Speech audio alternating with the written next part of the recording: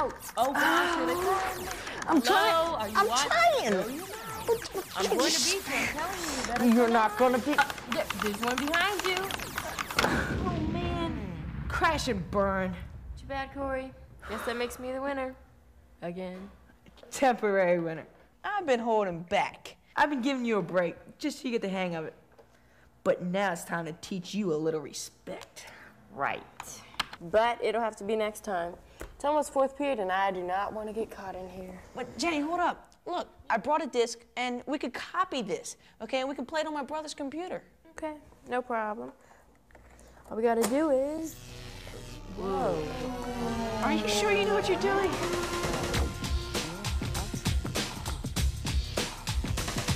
Did I hear you right? Did I hear you saying that you're gonna make a copy of a game without paying? Come on, guys. I thought you knew better. Don't copy that floppy. Uh, well, I, I, I just. Wait a minute. Who the heck are you anyway? Yeah. And what are you doing on our computer? I'm your MC, Double Def, DP, that's the disc protector for you and the posse. That's the artists, writers, designers, and programmers that work up the images for games and grammar that let you learn, but also play the game you came here for today.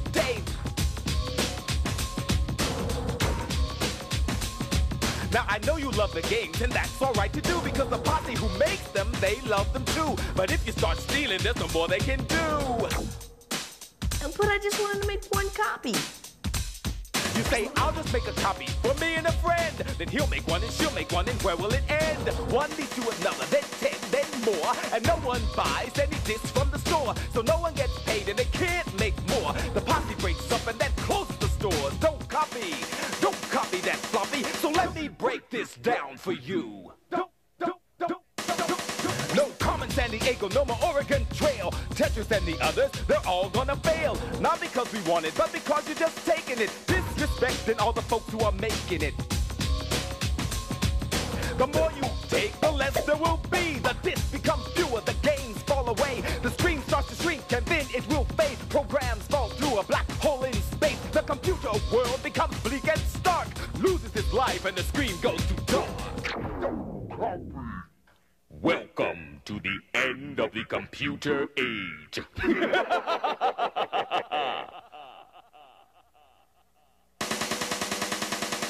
But I'm much too strong and you're much too smart to let that happen to your chances to explore parts of the new age just behind the doors of your minds.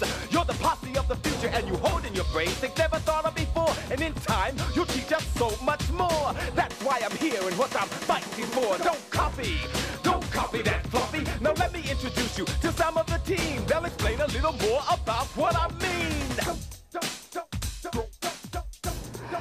The game I just finished working on is called uh, Neverwinter Nights, and it's an online version of a Dungeons and Dragons game. Different people around the country can sit at their computers and play this game together. A team of people will contribute different parts. The graphics people will do the pictures, the sound people will do the sound or the, uh, the sound effects or the music that you hear, and the programmer actually ties all that together to make the complete game. By the time you add up all the people that are involved in creating an application, you'll end up with as many as 20 or 30 people. It's fun work, it's challenging work. Uh, I get a, a thrill out of seeing something actually working, something that I put together. And when it actually starts to work, you, you may hear me yelling down the hall, it's working, it's working. There are great advantages to owning the original piece of software. For example, there'll be documentation and manuals that'll come with it. Normally you have instructions, you also have warranties, you also have, in some cases, upgrades if there are upgrades. We're available to you. You can call us on the phone and, and we'll answer your questions that might come up about the software. Any kind of technical support you might have or need, we'll be there to help you. if people keep stealing the games, the company makes less money, and therefore it may not want to make new games. So we might say, well, that didn't sell very well, they don't like it, we won't make any more of those. As a result of that, a tremendous amount of money and revenue is lost by the computer industry from this happening. Although the licenses may vary, the law is very simple. The copyright law says that when you buy a piece of software, you can put that software on one computer, and that's it. You can make a backup copy of the software, but you can't give that backup copy to a friend, and you can't put it on another computer. Every program that you buy, that's one program for one computer. We need you to be a part of our team also. The team of people who design and create the games are excited about the prospects for the future. And if you purchase your software instead of getting it illegally, you help make that future possible.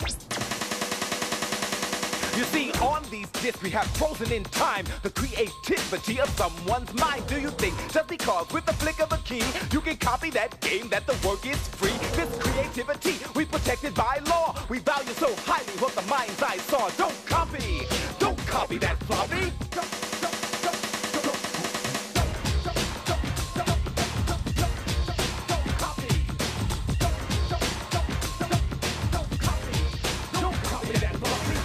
Right thing it's really simple for you. The copyright law, it will tell you what to do. Buy one for every computer you use. Anything else is like going to the store, taking the disc and walking out the door. It's called thieving, stealing, taking what's not yours. Is that really where you want your life to go? Think about it. I don't think so. Don't copy. Don't copy that floppy. Now wait a minute, man. Let me get this straight. You're telling me that I can't even make a copy of this science program just to use at home? That's bogus. Everybody does it. Those big companies have lots of money. This one copy's not gonna hurt them. Hold up. I think I know what they're trying to say. It's like, well, you know I love computers. I might want to be a programmer someday. Now, if I spend a whole year working on a really cool game or science program, I know I wouldn't want a couple kids like us making all kinds of free copies. Because then how do I get paid? But they can't stop people from copying. It's too easy. Yeah, it might be easy, but it's still against the law. And hey, I'm too young for a life of crime. Oh, right, like I'm a criminal. Well, if the shoe fits.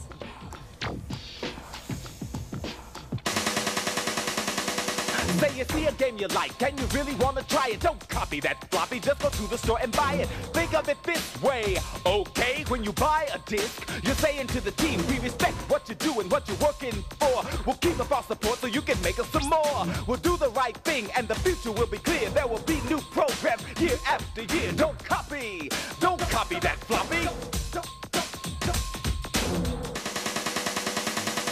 Now you know how the games and the programs are made and what to do to make sure they're not gonna fade. The bottom line is it's all up to you. There's nothing more that I can do. The ball's in your court, dribble, shoot, or pass. I'm sure you'll make your decision with class. Don't copy that floppy. See ya, I'm out of here.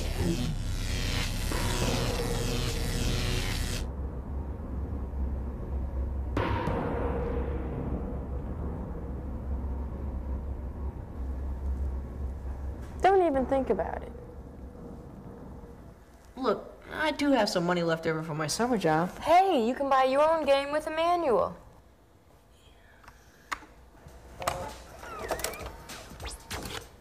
Do you think we have some time left over for another quick game? Oh, it'll be quick, all right. Won't take me long to beat you. No way, this time you're going down in flames. Move over.